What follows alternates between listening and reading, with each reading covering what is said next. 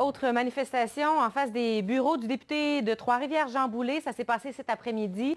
Des gens qui manifestaient contre le projet de loi 61. Il s'agit du projet de loi qui donne des pouvoirs exceptionnels au gouvernement pour relancer l'économie du Québec. Les gens qui s'y opposent estiment, entre autres, que le projet de loi va bafouer l'environnement et va ouvrir la porte à la corruption et à la collusion. D'ailleurs, inondé de critiques, la CAQ accepte de faire certains amendements à son projet, mais c'est insuffisant pour l'opposition ça nous donne la perception que vous voulez aller trop large. C'est pas là qu'on va aller. Alors, je vous le dis, est-ce que ça a été la, bonne façon? Moi, je voulais qu'on soit agile.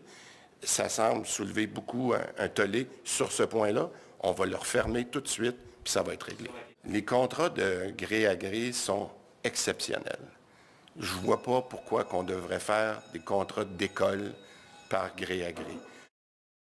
Et d'abord et avant tout un prétexte un prétexte pour faire en sorte que l'on puisse passer de nouveaux pouvoirs exorbitants, selon certains, et qu'ils soient permanents. On demande au gouvernement, à ce moment-ci, de refaire ses devoirs.